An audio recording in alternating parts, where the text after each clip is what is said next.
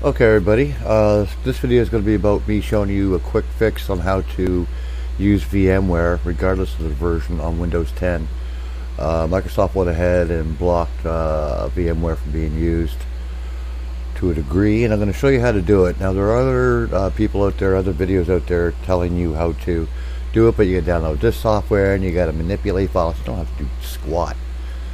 But anyway, this is how you get around it. Uh, it's really quite simple. I'm going to install uh, VMware Full 14.0. The reason why I'm installing the older version is to show you that um, older versions you could do. Uh, anyway, let's get on with this. Now, I will not be showing you me entering my serial number because that's not a good thing. Now, get this. The new VMware, it's 15.5.6 or some retarded number like that.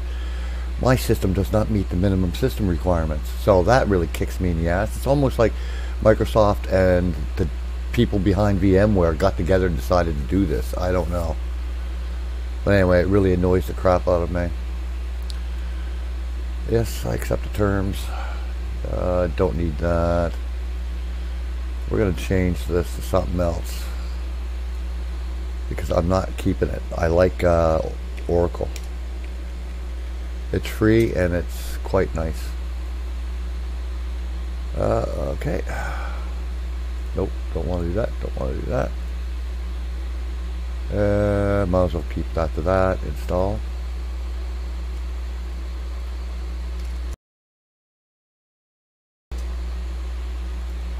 Okay. Yeah, my it's it's horrifying. I mean, imagine you know you, you put out money for this sort of stuff, right? And then uh, Microsoft said decides, no, we're not going to let you use that software anymore. Like VMware is not cheap software. It truly is not cheap software.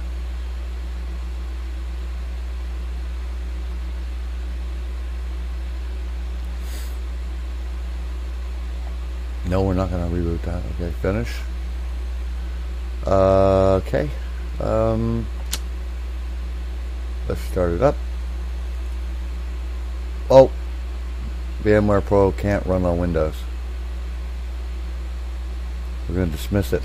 What you're going to do is you're going to go to where the the program is installed. So I'm going to right click, go to this, and it's where I just installed it. What you're going to be wanting to do is you're going to rename this to whatever you want. Doesn't matter, but I put one in makes life easier for me. I'm just going to set up my my launch icon to the right number or what I re yeah I know.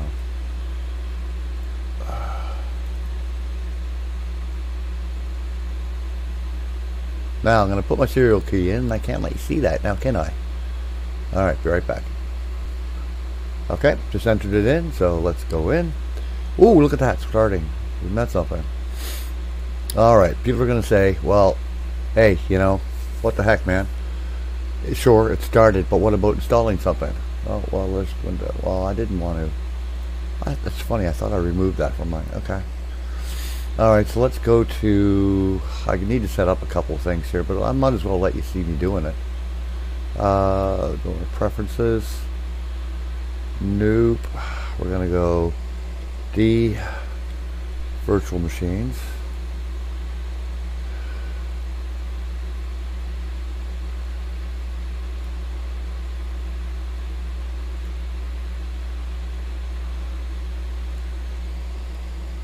We're going to do VMware actually. So I'm going to switch that over.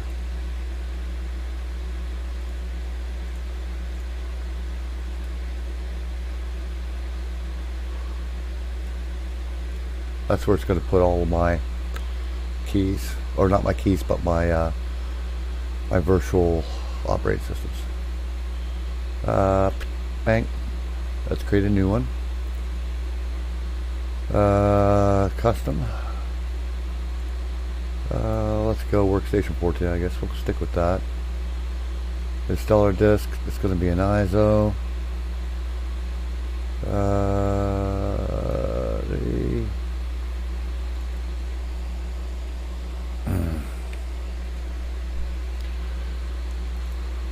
Windows XP.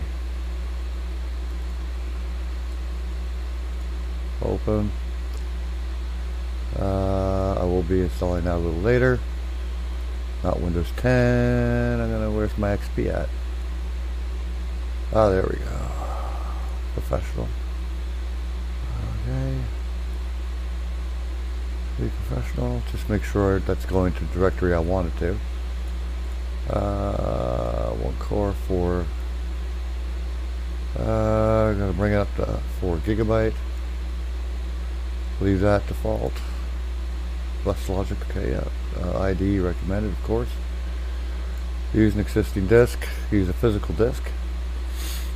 Uh, not what you want to do. I mean, you can do it that way, but I, I would never suggest that. Uh, we're going to do a new virtual disk. We're not going to allocate the disk space for this at all. It's going to be a growing one sort of thing. It's going to be 10 gigabyte. Uh, store virtual single file.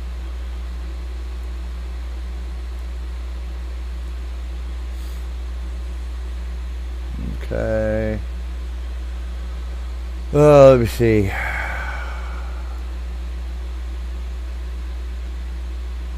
Options.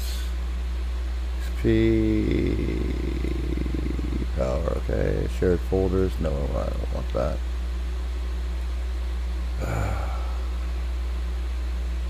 yeah, I just thought I'd show this really fast. Now you don't even have to watch the rest of this video. You've already I've already showed you how to get around it. But if you want to, then go ahead. Continue on watching. Uh, we're going to be using the ISO. Ay, ay, ay, ay, ay.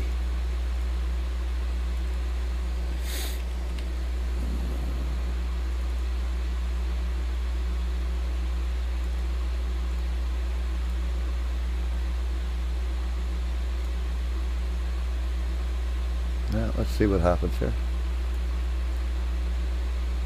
Uh, yeah, I already know all about that. Don't don't ask me about that crap. I already know. Okay, it's going to take about maybe a few minutes to install the operating system. So what I'm going to do is I'm going to stop recording here, and then when it's installed, I'll continue on recording. Okay, it's asking me to.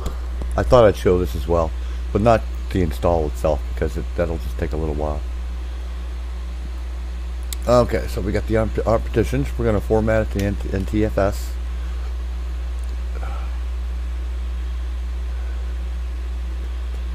Uh, come on, you little nickels.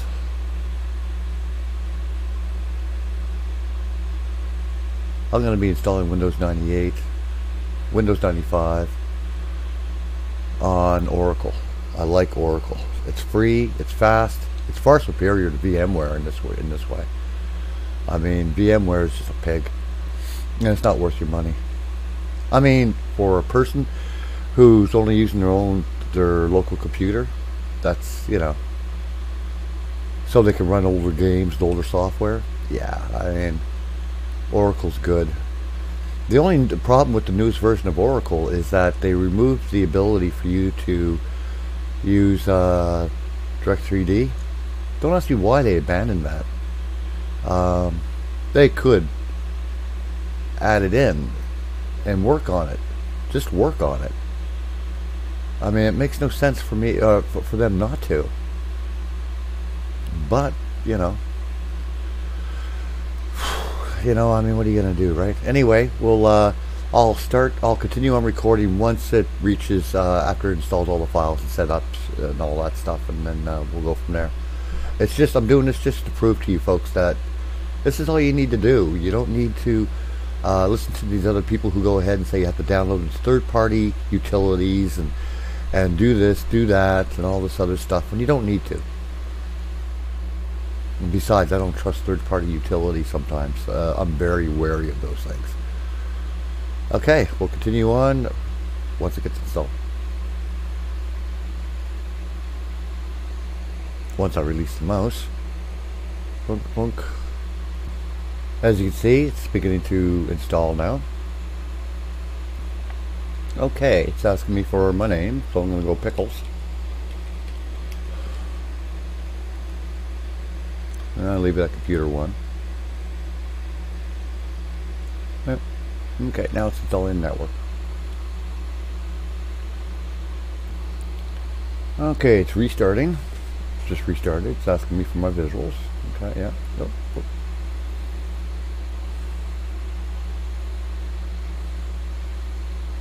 I'm not going to install the XP. Uh, th these are VMware tools, which allows you to uh, experience uh, the operating system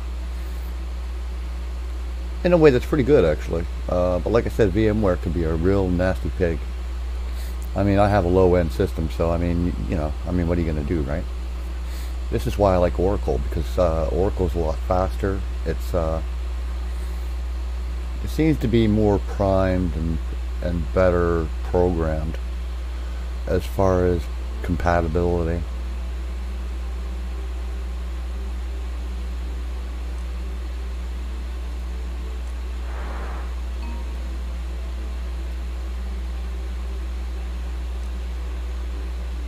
Skip this step. No, not this time.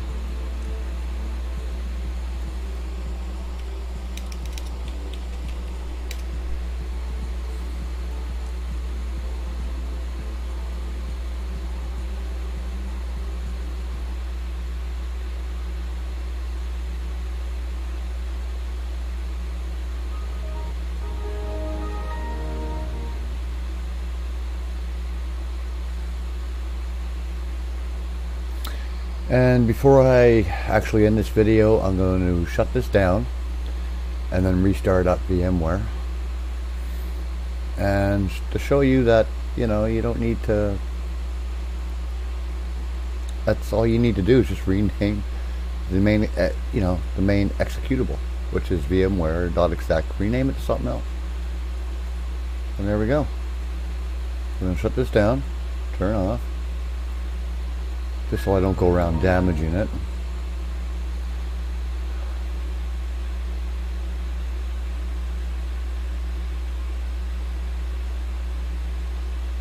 Tick, tick, tick, tick, tick, tick, tick.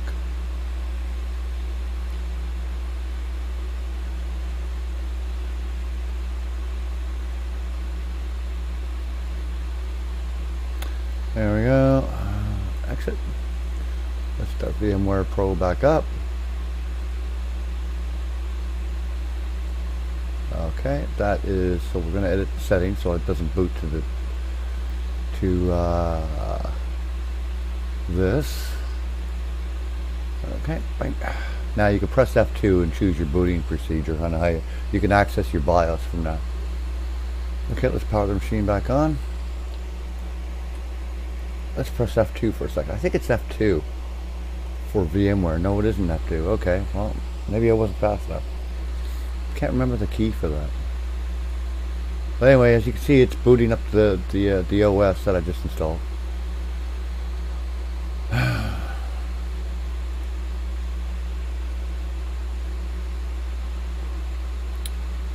there you have it, folks. That's how you can get around that. Uh, yeah, I don't know if it's done this on purpose to make people to force an upgrade. Uh, all I know is it's, it's a lie. It's just it's a note note lie. Anyway, folks, there you go. Take care. Oh, better go. Oh, if you're wanting to know the version of Windows I'm using, uh, well, it's 1903, but I can't uh, the updated version. But uh, I stopped. I I stopped all updates from I think from May or something like that, or April or something like that. I can't remember, but it was a little earlier than that. I don't download uh, Windows or uh, Windows 10 updates, man, without first checking it all out. Because I, I'm sorry, but I'm not getting caught up in the way Microsoft does things. They don't care. They laid off all the people who did QA, it, you know, in their QA department, and allowing people who happen to have paid money for Windows uh, 10 to be the test subjects. You know, and no, I'm sorry, it's not going to happen. Anyway, take care, folks. Have a good one.